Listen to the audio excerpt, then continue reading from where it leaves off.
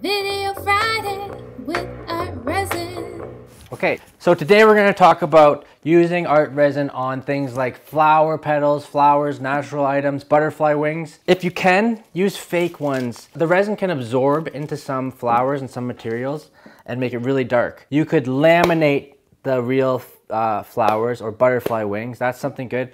You do a test because it might make the flower look really dark. It might make the butterfly wing look really dark and saturated but sometimes it doesn't. Some flowers, it just will sit on the top and be absolutely perfect. Same with some butterfly wings. You gotta experiment first. If you can, use fake flowers uh, and even do a test there because they might be absorbent.